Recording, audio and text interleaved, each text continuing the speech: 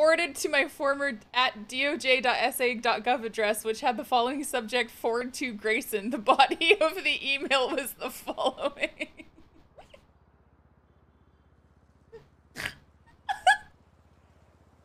The email was sent from Mandy Tiller to Grayson Killer at mof.gov.kp.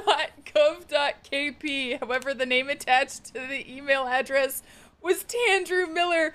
After reading the case, I thought you would still want to be made that Tandy is still attempting some kind of electronic cyber emotional warfare against your person.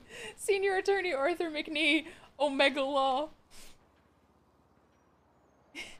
This is character assassination. It is the malicious and unjustified harming of my good reputation. Fucking copy pasted from the dictionary.com.